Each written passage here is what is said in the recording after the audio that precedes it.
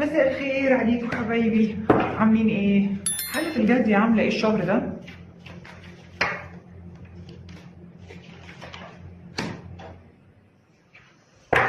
الجدي حزين. لا بصوا يعني ال- القوس عنده قفلة. دي حاجة. واللي بيمر بيه الجدي ده حاجة تانية خالص. لا لا لا. ده في هنا في بيج لوس في خسارة كبيرة في حاجة الجدي فعلا يعني الكارت ده depressed he's depressed زعلان جدا. وندمان في حالة ندم. أنا خسرت حاجة كبيرة جدا. يكون معرفش خسر إيه بعيد الشر خسر شخص. خسر حاجة خسر نفسه. في حاجة خسرها خسر كرامته خسر حاجة. المهم هو حزين جدا وزعلان جدا ومنسحب تماما. يعني هو مش شايف حاجة عدلة. في حاجة بيقول لك الكارت ده برج يا برج ال- الجدي. لا أنت ما خسرتش كل حاجة. يعني فلنفرض إنه مثلا أنت خسرت شريكك مثلا مزعلك في حاجة و- وحاسس إن أنت خسرته. لا أنت اديت كتير قوي. الحمد لله.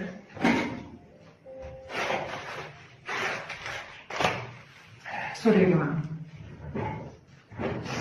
يعني ما تزعلش إنك أنت اديت.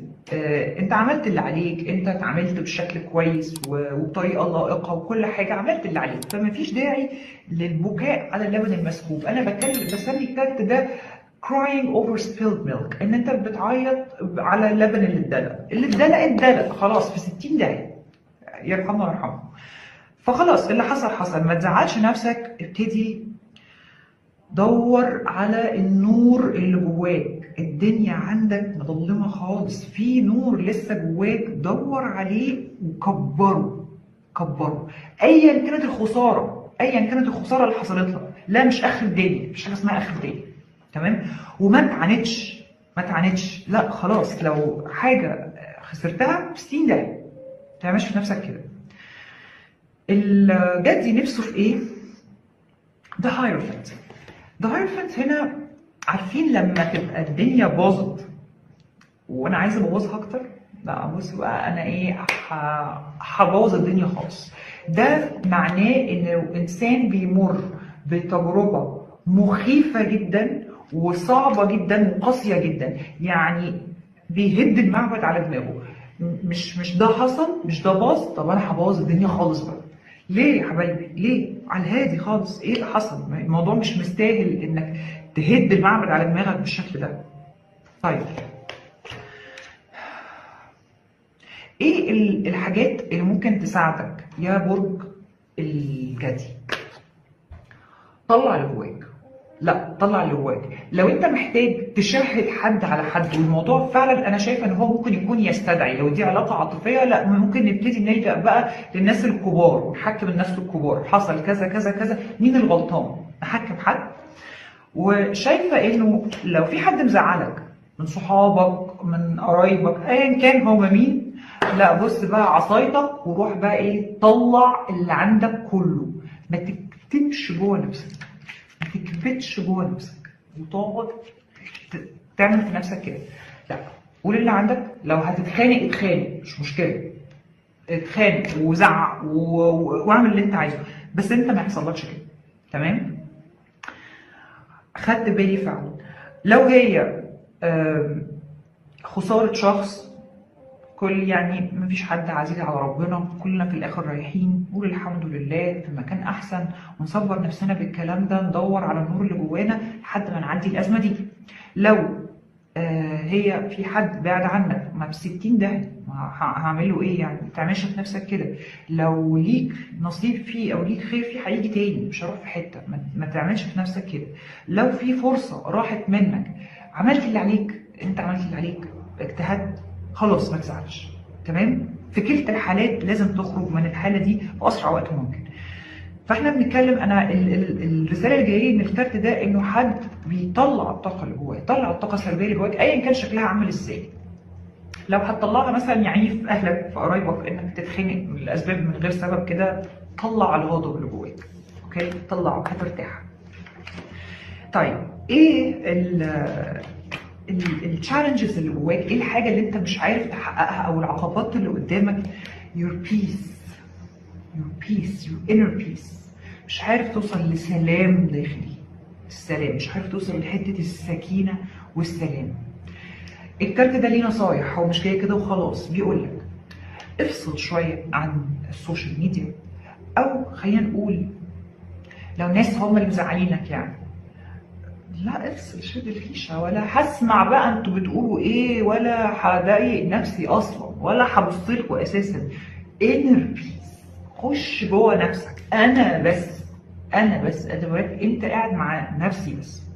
الكارت ده كمان معناه الصلاة التعبد. دي الحاجة لغة لغة الجسد بتاعة الكارت إنه أنت هتوصل للسلام الأساليب المساعدة. إنك. يعني تبتدي تعمل صلوات وتدعي دعوات كتير جدا تدعي آه التأمل كمان كويس جدا جدا إني أفصل شوية عن العالم الخارجي بتاعنا يا. ال... أفصل شوية عن الواقع خلاص لا أعيش شوية في خيالي أنا إنه أنا رحت مكان تاني خالص. وفي حتة تانية خالص نفصل شوية من العالم المادي وشوية نخش في حالة فيها روحانيات أكتر وإن أنت تقابل نفسك فعارفين الحتة دي تقابل نفسك. تمام؟ فدي التشالنج والتحديات اللي عند برج الجدي الشهر ده إنه يوصل لمرحلة السلام. كله في إيدك والحاجات اللي بتساعد زي ما قلنا العبادات الصلاة الدعاء الحاجات دي كلها التأمل كل الحاجات دي بتساعد جدا إن شاء الله توصل لحاجة كويسة. طيب النتيجة بقى بعد كل القرف اللي, اللي أنت معدي بيها برج الحمل الشهر ده إيه اللي أنا شايفاه في الآخر؟ طلع لي كارت The Empress الكارت ده إما أمومة تمام؟ المستنيين أطفال مستنيين حمل أوكي؟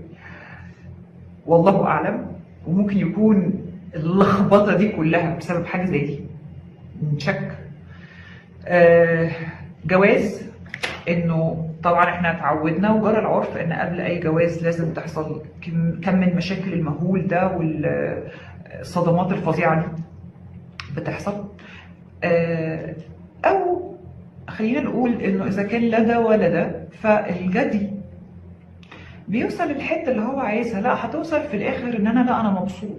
وبيرجع تاني في حالة عطاء وحب للنفس وحب للآخرين والدنيا هتعدي بشكل عادي جدا. النصيحة اللي هنصحها لك خرج اللي جواك الأول الأول خرج اللي جواك طلع الحاجات اللي مزعلاك في أي صورة بقى تعيط تعيطي.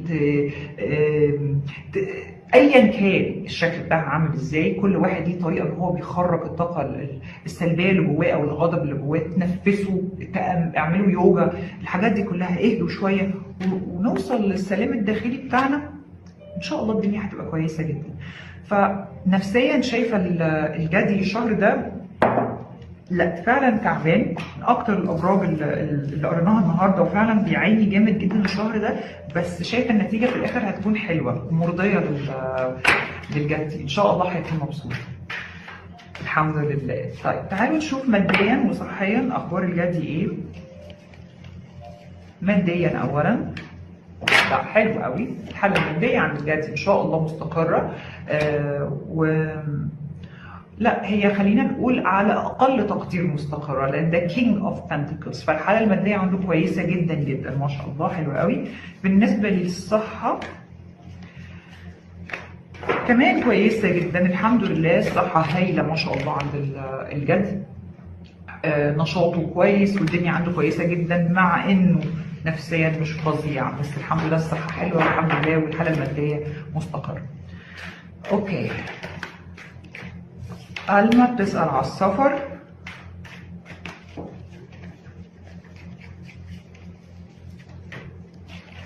بقى بشكل كبير شايفة إنه إن شاء الله ممكن يحصل يعني في هنا حاجات قد قطع مسافات سريعة هنا إن شاء الله ممكن يحصل وهنا في حالة رضا إنه بيحمد ربنا الحمد لله. وده اللي بتسعوا له إن شاء الله بإذن الله والله أعلم طبعا يحصل. طيب نبتدي بقى القراية العاطفية. العافية يا امين أوكي القراية العاطفية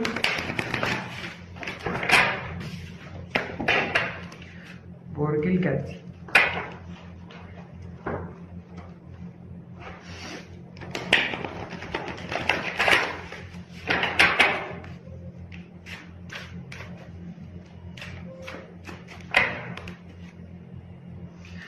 بصي يا حبيبي الصحة طبعا انت أضرب حاجة بس آه، ممكن تكون الحالة النفسية آه، لو القراءة العامة منطبقة منطبقة عليكي الحالة النفسية مؤثرة على ال- حالتك الجسدية. يعني أنا من الناس اللي لما بزعل على طول بعاني على طول بعاني من مشاكل يعني مباشرة في ال- في الصحة. فلو دي الكيس عندك الموضوع كله لو حلتي نفسيا هتبقي تمام. فإنما لو الكيس غير كده وحبيبتي ربنا إن شاء الله يعافيكي آه، عندك مشاكل اهتمي بالموضوع اهتمي وخدي شوفي تابعي يعني. طيب معلش هنشفل الكروت تاني.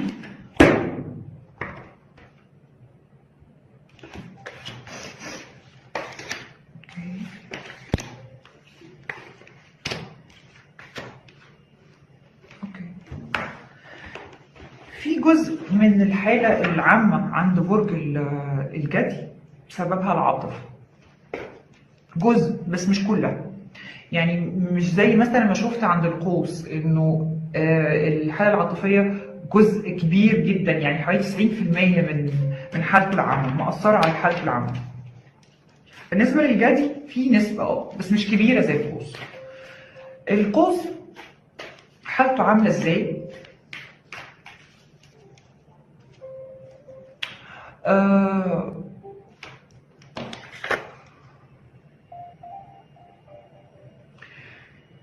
القوس شايفة إن هو عنده حتة حاسس إن هو مسلوب الإرادة قدام شريكه. تمام؟ إنه شريكه هو ال- اللي بيتحكم في مسار الأمور. أفرح ولا هزعل هتضايق ولا هتبسط كأنه هو اللي مسيطر على الأمور. وده بمزاج الجدي على فكرة. هو مش مش غصب عنه هو مزاج. هو لو عايز ما يبقاش فيه تأثير مش هيكون فيه تأثير. بس هو بمزاجه مستسلم تماما وسايب الموضوع في إيد آه، الشريك. تمام؟ ثقة بقى بيثق فيه جدا. هبل. مش إحنا مش قادرين نعرف لكن آم، دي دي مش من الحاجات الكويسة اللي بشوفها في العلاقة إنه الشخص يكون هو اللي بيقرر للتاني هيبقى مبسوط ولا لأ. لأ معلش مش مش ده خالص مش صح خالص. آه، يعني حتى لو في مشاكل وأنا شايفة إن الطاقة فيها مشاحنات أهي الطاقة فيها مشاحنات إنه أنا أتأثر بالشكل الفظيع ده بناء على رغبة شريك. لا ده بني آدم زيه زيي وهو ما عندوش الاودوريتي والقوة إن هو يتحكم في حياتي والشكل العام ونفسيتي بالشكل ده. يعني حاول يا برج الجدي ما تخليش السيطرة الكاملة في في إيد شريكك. تمام؟ شريك ال- الجدي الناحية التانية أنا شايفة إن أموره تمام التمام. يعني مفيش بعد كده عنده دستور يعني لو المشكلة مشكلة آه، في مشكلة عاطفية ما بين الجدي وشريكه انت متبهدل خالص وهو تمام. هو مفيش حاجة خالص. لا فعلا هو مش بيمثل. لا هو فعلا تمام. هو مبسوط جدا والدنيا عنده تمام جدا. كويس؟ الجدي نفسه في إيه؟ لو حصل انفصال أو بعد بشكل أو بآخر ما بين الجدي وشريكه الجدي نفسه يرجع. نفسه يرجع. ونفسه يصالح. يمكن يكون الجدي أخطأ يمكن الله أعلم عشان كده عايز يعتذر. أو ممكن يكون ما أخطأش ولا حاجة ودي دي اللي جاية لي إن هو ما غلطش. بس برضه عايز يعتذر. أنت بتعتذر على إيه؟ لو أنت ما غلطتش ما تع- بتعتذر على إيه؟ فدي الطاقه بالظبط اللي جاية لي إن هو عايز يرجع. يعني تمام؟ شريك ال- الجدي نفسه في إيه؟ هو يعني هو كمان نفسه فرصة إن الوضع يتصلح. آه، يعني برضه هو مش سيء النية قوي. لا هو عايز فرصة إن الأمور تتصلح وترجع تاني في آه، الشكل الطبيعي بتاعها عايز فرصة. يعني هو مش هيعمل ده من نفسه لوحده. لا هو لازم يبقى في عامل خارجي من بره فهي تيجي كده. قال يعني صدفة. فاهمين قصدي إزاي؟ فهو عايز فرصة. الجدي شاف شريكه إزاي؟ The high priestess انه حد اما انه في الهاي بريست بتوحي بحاجه من اتنين. في حاجة كانت مستخبية واتعرفت. وحاجة مستخبية دي مش لازم دماغنا تروح لبعيد الخيانة والحاجات دي كلها. لا ممكن تكون الحاجة دي طبع مثلا كان مستخبي عن الجدي ما كانش يعرفه عن شيء. وعرف بان ظهر. فابتدى إن هو إيه في حاجة اتكشفت. آه فده الأكتر اللي أنا شايفاه إنه في حاجة كانت مستخبية أو محجوبة عن الجدي وعرفها. تمام؟ طيب ال ال شريك الجدي شايفه إزاي؟ متحسر أنا اتضحك عليا. هو يكونش اتضحك عليا.